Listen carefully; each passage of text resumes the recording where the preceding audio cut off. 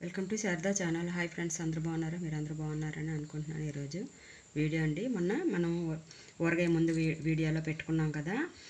ఊరగాయ గురించి ముక్కలన్నీ కోసేసి అన్నీ కలిపేసి పెట్టుకున్నాం కదా. అంత ఉప్పు కారం అన్నీ ఆవు పిండి అంతా వేసుకొని మనం చేసాం కదా. మెంతులు అన్నీ వేసి అది మూడు రోజులు బెల్లం వేసాక ఊరిపోయింది.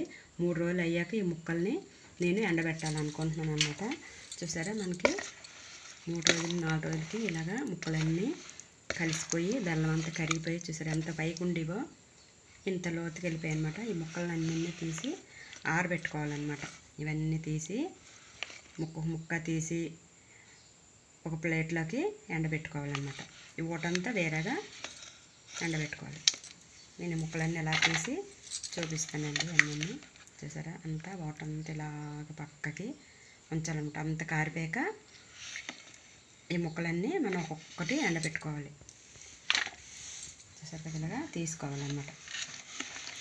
డబ్బా నిండుగా ముక్కలు వచ్చాయండి. ఊరేసరికల్లను బెల్లం ఇవి ఆవుపిండి కారం అంతా వేసుకున్నాం కదా ఊరేసరికల్లను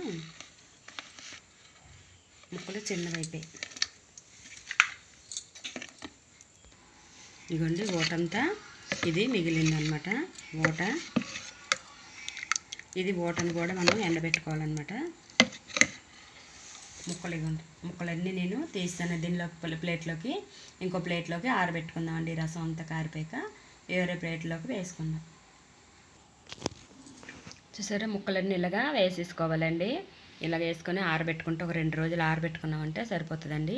ఒక రోజు ఇలాగా పెట్టాం కదా రెండో రోజు ఇలాగ ఆరబెట్టుకోవాలన్నమాట. ఈ రోజుకి ఇలాగ రెండో రోజుకి ఇలాగ పెట్టుకుంటే ముక్కలు బాగా ఆరిపోతాయి అన్నమాట అప్పుడు ఈ- ఇగోండి ముక్కలు కూడా ఇందులో ముక్కలన్నీ తీసి వేసాను కదా.